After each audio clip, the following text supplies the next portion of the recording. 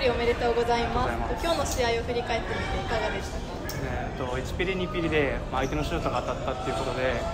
まあ、点差負けてる場面もあったし、まあ、競ってる場面もあったんですけどそこを自分たちで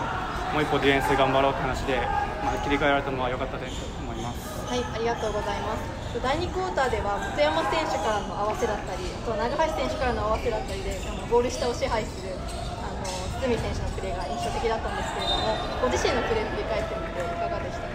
そうですね、まあ、自分の強みっていうのがその外からのカッティングの合わせだったり中でまあ面を張ったりすることなのでそれができたのは良かったと思います。はいありがとうございます。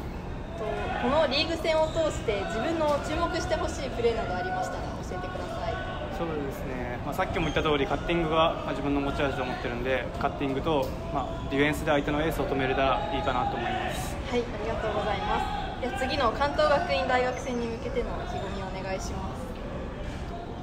関東学院さんは留学生もいて、まあ、春のトーナメントで上の方まで行ってるチームなので、